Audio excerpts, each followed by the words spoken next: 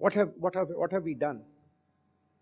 Why is there such an overkill in the Vodafone case amendment? We showed the court on a global basis. This is not the first time where indirect transfers have created problems of taxation. Countries have dealt with this for almost two decades with the increase in global investment. Everybody has calibrated, either you calibrate your tax treaty to deal with companies which have sub assets in downstreams, or you calibrate your law to specifically tax. In France, in Italy, in Germany, they have specific legislation which says if your company, downstream company, has more than a prescribed defined percentage of real estate, it will be taxed. But if you have a downstream company owning shares in industrial investment, it will not be taxed. In certain tax, Australia had this problem with its mining assets. So it made a general law saying in all the tax treaties, if there is a downstream company, they will be taxed. All this was always, always prospective. It applied to investments made thereafter. We had the models before us. We could have changed our law and said downstream will be taxed. We had to be specific, we had to be categorical. Each law specifies exactly A, the nature of the downstream asset, B, the exact percentage which kicks off the taxation. And those laws have remained stagnant for years. So, what have we done? We have gone and amended the law wholesale we have gone and amended the definition of property to include all rights in management. We put it at odds with the company law, we put it at odds with the law of contract. You have not amended any of those laws. So you now have two parallel definitions. And it's, it's ironical to tell a foreign uh, investor, as of now, there is a wrong judgment of Supreme Court which holds the field, which says shareholders' agreement cannot be enforced. So you tell a foreign investor this unenforceable agreement is property. What sort of a mixed message, idiotic message are you giving? that you're in such a hurry to impose this tax that you don't even take a global look at your own laws and rationalize them. So you tell a foreign investor, if you sign a shareholders agreement, you're not guaranteed voting rights, but what you are guaranteed is that you will be taxed in India.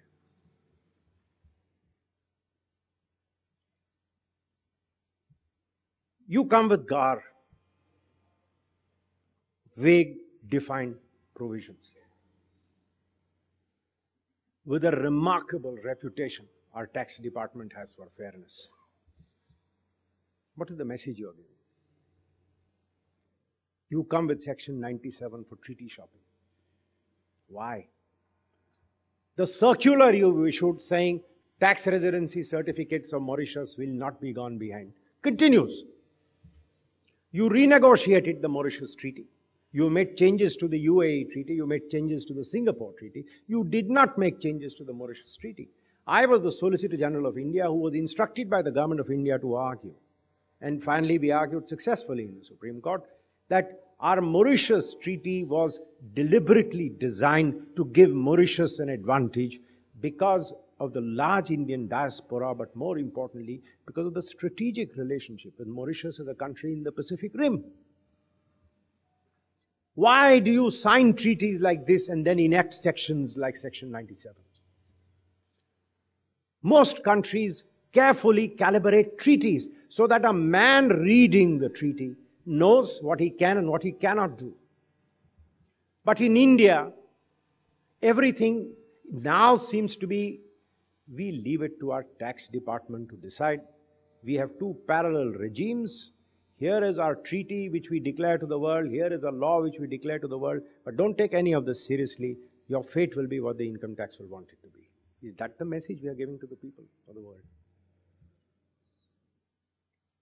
And to add insult to this injury, all these changes are captioned by for removal of doubts.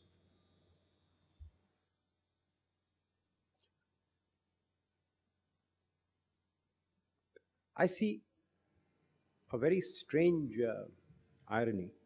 I'm sure if somebody was to word check which is the most commonly occurring expression in the amendments, I think the expression for removal of doubts will show up. We have removed so many doubts. So everything which the courts say is a matter of doubt.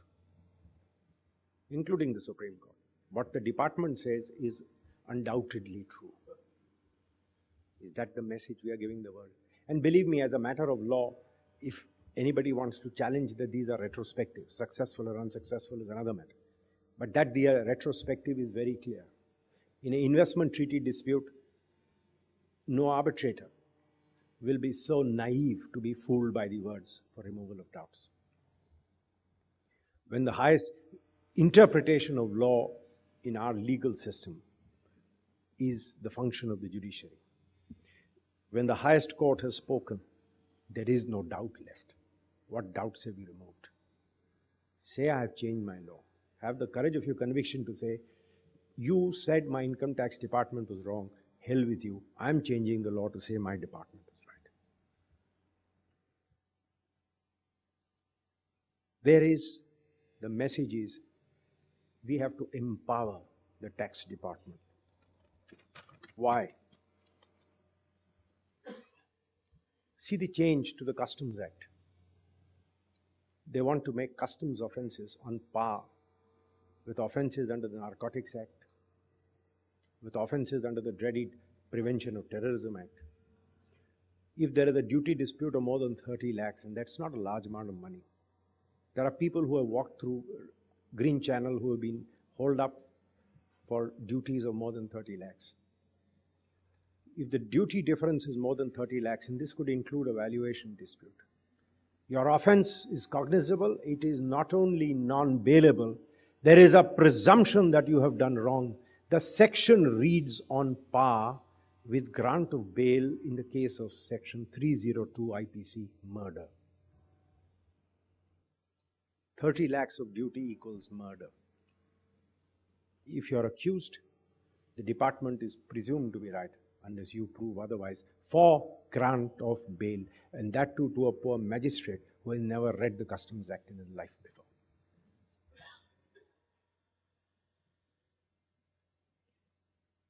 The time has come where the government has to realize that the citizenry will no longer take this in its stride. This empowerment of the bureaucracy was a hallmark of our leftist leanings, our socialist society. I thought we buried that in 91. The time has come, as Mark Twain said, when men have laws, brutal laws are impossible. When men have voices, brutal laws are impossible. Why have we lost our voice against this brutality? There has been a global outcry. The price for this will be paid by India as a whole, but certainly by the business community directly. The business community in India today is no longer a community which has been fostered by the license control Raj as it was in the 70s and 80s. You are not beholden to those who sit in North Block. Stand up and say you will not stand for this nonsense. Business community shuns politics. This is not a question of politics. It's a question of survival of certain basic values in India. It's a question of are we as a citizenry willing to stand by while governments practice cheap populism at the cost of the poorest Indian. I don't think any of the rich Indians will have to sell their private planes or their yachts on account of this. But the high cost economy, the high cost economy because of the cost of taxation which we are imposing will hit the lower middle class and the poorest the most. Why has all this been done? Because we cannot curb our profligacy. There is not a single rollback of subsidies. There is nothing to suggest that there is even an attempt to improve the 70% waste of every rupee we spend on subsidies. Only less than 30% reaches targets, the target uh, beneficiary. Nothing on that score. All that you have is a frontal assault on investment, a frontal assault on Indian growth. India is in a state of churn. This is the time for those who want to speak for the country to stand up and be counted. I think the time has come for debates, discussions like this, and for a strong view to be presented by the government. It is unusual. What values do we have? It is now a matter of public knowledge that when in 2007 Gordon Brown wrote to our Prime Minister saying, Are you going to tax an English company retrospectively? He says the question doesn't arise. The matter is in courts where it will be resolved finally. Is the word of our Prime Minister worth less than $3 billion to us? Is that what we have come to as a nation? Are we that poor as a nation? I think the time has come for all right thinking people in India to say, we don't care what happens to Vodafone. We don't care what happens to those affected by transfer pricing. Incidentally, I was in London when the budget provisions were announced. Three solicitors interrupted my meetings and said, Sir, one, two minutes, we need an answer which we know, but we need it from an Indian Senior Counsel. Said, What? said they have amended and said we will have advance ruling for transfer pricing. Very nice. But can they, by retrospective law, change transfer pricing rulings? I said, of course they can. If they can change Supreme Court, they can change this. Then what use is it? I said, well, it's good for my profession. You go pay money, get an advance ruling, and then get the law changed. That's the message which we are giving.